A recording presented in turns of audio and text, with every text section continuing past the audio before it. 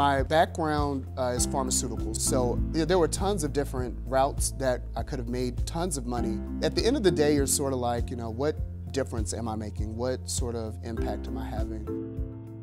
And I realized that even though students came from, you know, poor backgrounds, disadvantaged backgrounds, that they too had the same ability to learn and to love science and to love the same things that I did actually being able to have students' eyes light up because they you know, completed a science project or got some results and some data and made these observations, um, that the, the feeling was completely different than closing my laptop at the end of the day and you know, finishing a report or something like that.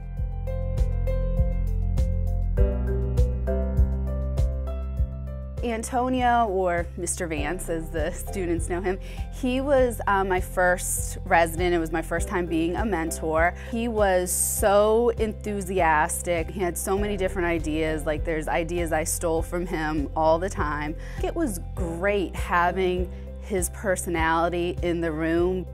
One of the great things about the Philadelphia Teacher Residency was this opportunity to make mistakes. My mentor would say, you know, hey, you know, go ahead and try that. But then having those hands there to sort of guide you um, when you did make a mistake and to go back and say, hey, you know, what did you think about that? What could, have, what, what could you have done better? It was this safe environment where you could really learn to be yourself and learn to manage a classroom.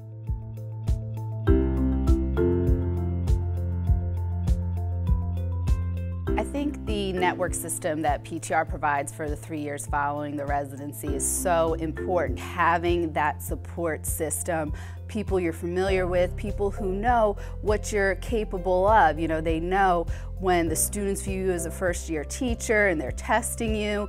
Um, they've seen you in the past and they've seen you do great things.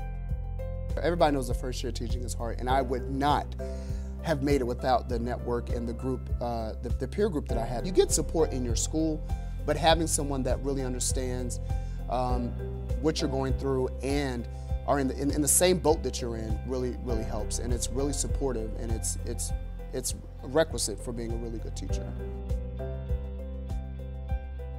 There's this huge achievement gap.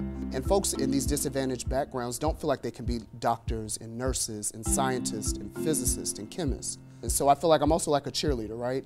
Uh, telling students, hey, you can do this hard chemistry. Don't be, you know, afraid of this formula. And it's really inspiring to see students really make that turn that, you know, hey, I'm from a really tough neighborhood in Philadelphia, uh, come from a rough background, but I can still balance a chemical equation. I can still do all of the, the, the tough things that, that you would see in a suburban school or anywhere else.